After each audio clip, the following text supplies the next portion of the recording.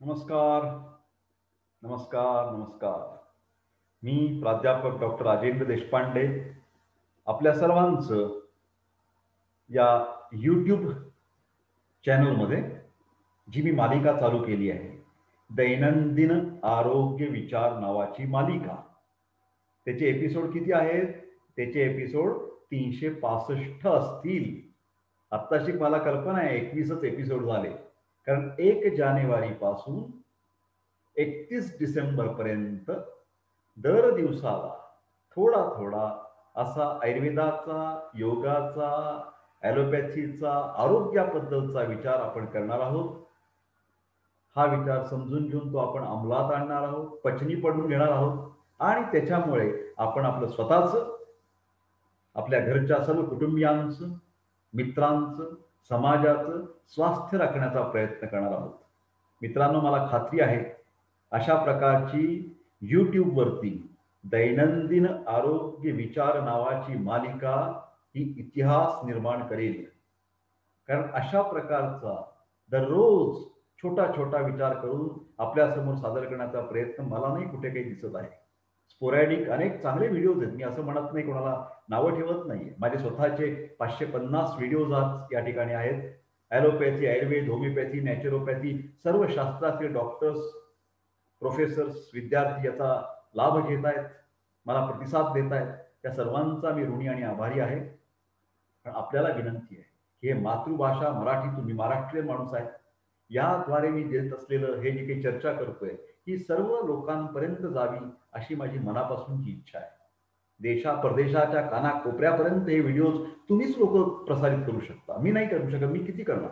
मी युट्यूबला दिले माझ्या माझ्या ओळखीच्या लोकांना मी व्हॉट्सअप करेन मेसेजेस करेन पण आपण प्रत्येकाने आरोग्य दूत म्हणून हे चॅनल सबस्क्राईब करा आणि इतरांनाही सबस्क्राईब करण्याची विनंती करा.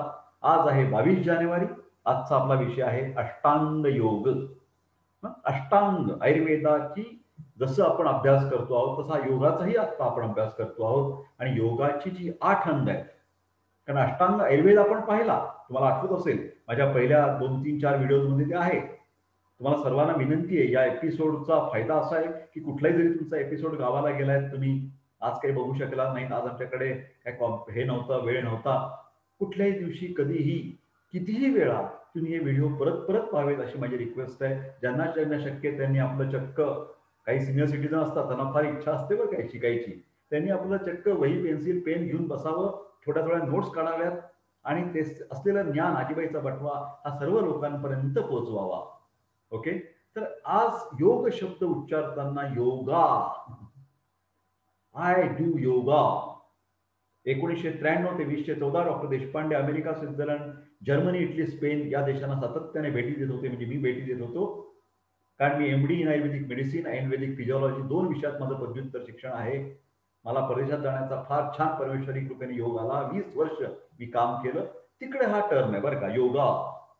Yes doctor I the yoga मला काही चेष्टा नाही करायची. तुम्ही योगा म्हणा काय किंवा योग म्हणा काय. अर्थ तोच आहे. पण तो नीट समजून घ्या की हे योग नक्की काय आहे.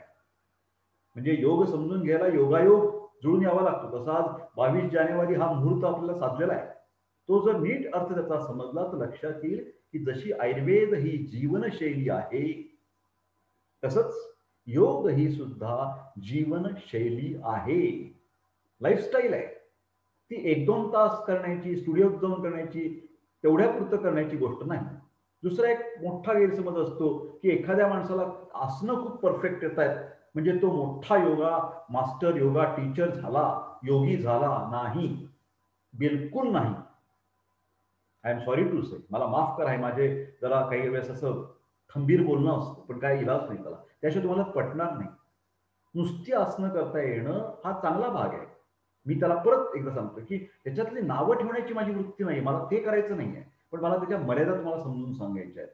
केवळ आसनं करता आली म्हणजे तुम्ही योग तुम्हाला कळला असं होत नाही. तुमचं अंग लवचिक आहे असं त्याचा अर्थ झाला. तुम्ही निरोगी राहाल असा त्याचा अर्थ झाला. तुम्ही जिम्नॅस्ट आहात असा त्याचा अर्थ झाला.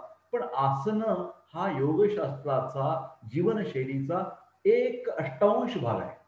वन बाय एट एक अष्टमांश भाग. नीट समजून घ्या. तर मग आपल्याला अष्टांग योग जो आहे त्याचं निश्चित ज्ञान आपल्याला झालं पाहिजे. या आठ गोष्टी सांगितल्या आहेत. त्या प्रत्येक गोष्टीचा अर्थ समजून घेऊन तो आचरणात आणण्याचा प्रयत्न जर आपण केला तर खऱ्या अर्थाने तुम्ही योग्यासारखं जीवन म्हणजे काय हो? म्हणजे काही नाही बघा म्हणजे बॅलन्स्ड जीवन. कुठे अतिरेक नाही. शरीराने नाही मनाने नाही भावनेने नाही आत्म्याने नाही अतिरेक करायचा नाही कुठल्या गोष्टींचा. हसतोय म्हणजे भसाभसा हसतोय.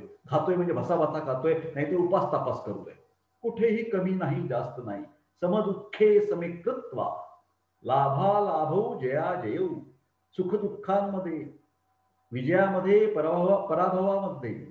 ऊन असू द्यात वारा असू द्यात पाऊस असू द्यात सर्व स्थितीमध्ये माझी म्हणजे तुमची आमची सर्वांची जर शरीर आणि मन हे निरोगी राहत असेल तर तुम्ही योगी आहात. आज कळला तुम्हाला योगाचा खरा अर्थ? तर आपल्याला आता हे शिकायचंय की अष्टांग योग. आपलं मन आनंदी आणि तणावमुक्त याच्यामुळे होणार आहे अशा या आठ गोष्टी आहेत. एक एक गोष्ट पाहूया. पहिला शब्द आहे यम. योगशास्त्रामधलं पहिलं अंग म्हणजे यम. हा यम म्हणजे आपल्याला मृत्यूनंतर रेड्यावर बसून जो घेऊन जातो आपण जे कुठे ऐकले वाचले पाहिले तो यम नव्हे. मी परत एकदा सांगतो आपल्याला. बोली भाषेतले शब्द वेगळे आणि देशपांडे सरांच्या या सिरियल मधले मालिकेमधले शब्द वेगळे ते शास्त्रीय शब्द आपण थोडे थोडे समजून घेऊ. यम म्हणजे वागावं कसं? सोपं आहे बघा. कसं वागायचं? नेहमी खरं बोलावं सत्यम ब्रुयात. प्रामाणिकपणा ठेवा म्हणजे मग लपवा छप्पीची भानगडच पडत नाही. जेव्हा माणूस खरं बोलतो तेव्हा टेन्शन मुक्त असतो. कारण त्याला काही लपवायचंच नसतं. ट्रान्सपरंट पर्सनॅलिटी पारदर्शक व्यक्तिमत्व. पहिली गोष्ट सत्य बोलायचं अहिंसा. अहिंसा या शब्दाचा अर्थ नीट लक्षात घ्या. हिंसा करायची नाही म्हणजे प्रत्येक वेळेस जाऊन जंगलात जाऊन काही हरणालाच मारलं पाहिजे असं नाही. हिंसा तीन प्रकारची असते. शारीरिक वाचिक आणि मानसिक. शरीराने कोणाला तरी त्रास द्यायचा जबरदस्ती करायची हात उगारायचा फटकारायचा मारामाऱ्या करायच्या ही शारीरिक हिंसा झाली. शिवेगाळ करायची तू फुल्या फुल्या आहेस. काय झाली? ही वाचिक हिंसा झाली. आणि काही न बोलता काही न करता पण मनातल्या मनात एखाद्या माणसाचा सारखा संताप करायचा द्वेष करायचा. ऍक्शन हे काय झाली? ही तुमची मानसिक किंवा भावनिक हिंसा झाली. तर कोणत्या स्वरूपाची हिंसा आपल्याला करता करायची नाहीये? कारण त्याच्यामुळे आपलं आरोग्य खराब होणार आहे स्वतःच. इतरांची काय त्रास होईल तो होईल. पण स्वतःला त्याच्यामुळे त्रास होणार आहे हायपर टेन्शन होणार आहे बीपी वाढणार आहे. मेंदूमध्ये रक्तस्त्र होऊ शकतो. काय नाही होणार तुमचं. संतुलन सुटून जातं.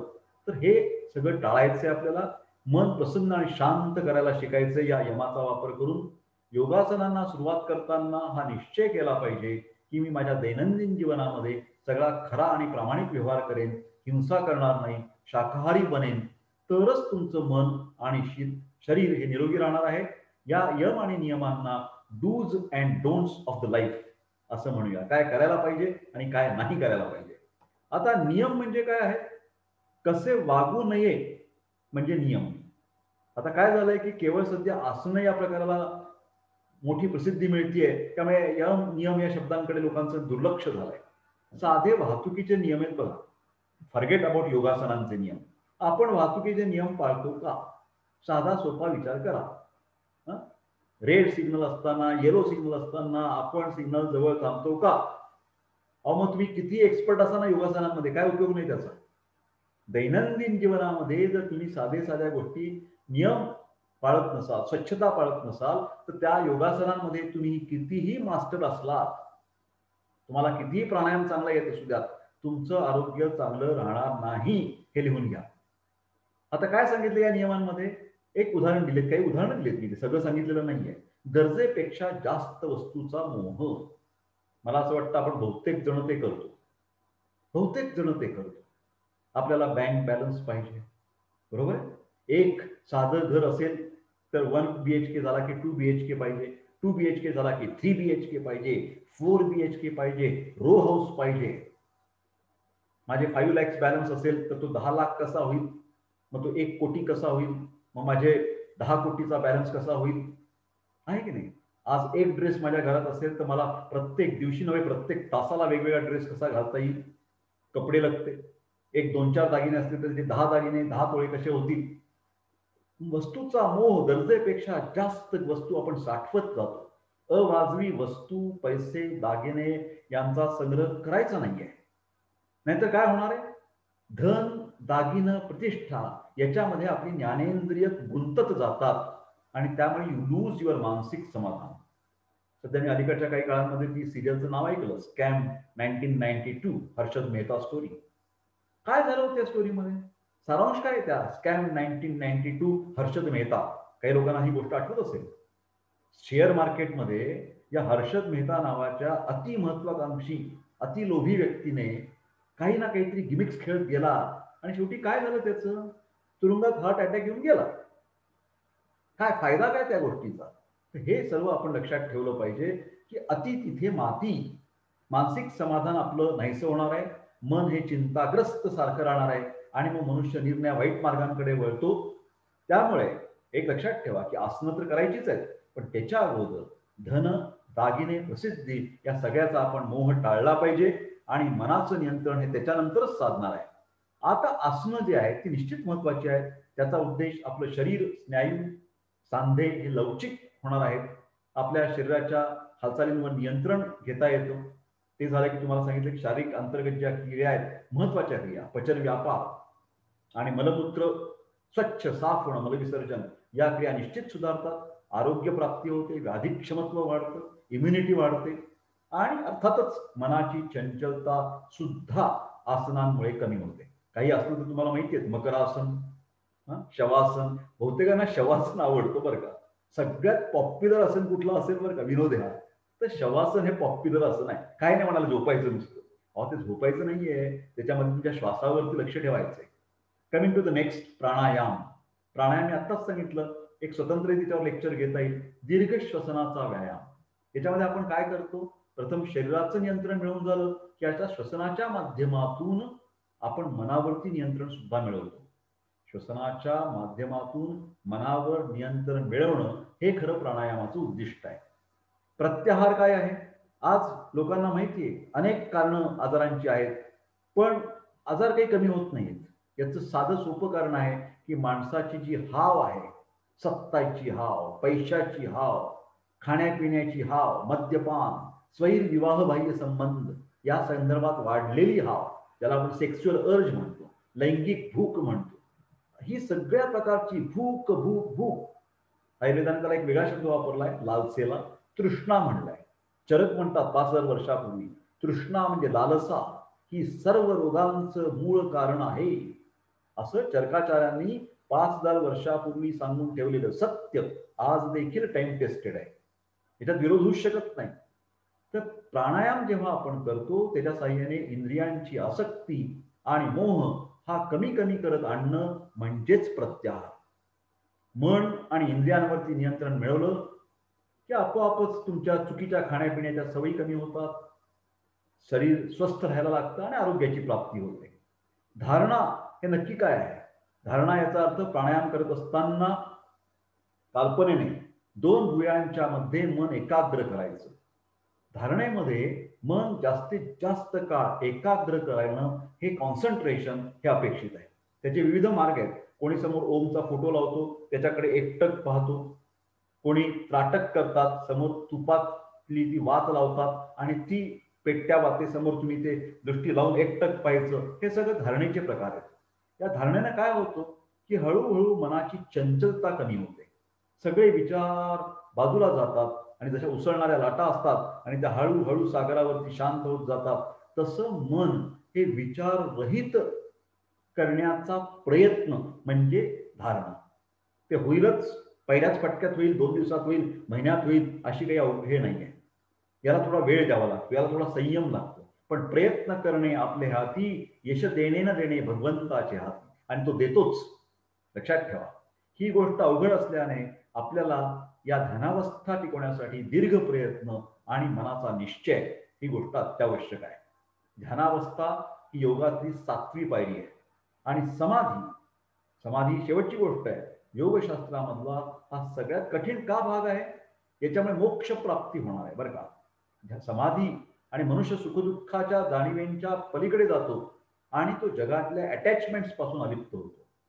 समाधीचा मी एका वेगळा अर्थ सांगतो इथे दिलेला नाहीये. आपण समाधी म्हणजे काय नीट समजून घ्या. समाधी म्हणजे काय हे नीट समजून घ्या माझ्या मित्रांनो. समाधी म्हणजे दगडविटा भोतारी बांधायच्या आणि प्रत्येक वेळा ज्ञानेश्वरांनी घेतली तशी समाधी घ्यायची असं काही अपेक्षित नाहीये. समाधीचा जो लाभ आहे तो याची देही याची डोळा तुम्ही जिवंत असताना प्रत्येक क्षणाला समाधीचा अनुभव घेऊ शकता असं मी आपल्याला निश्चितपणे सांगतो.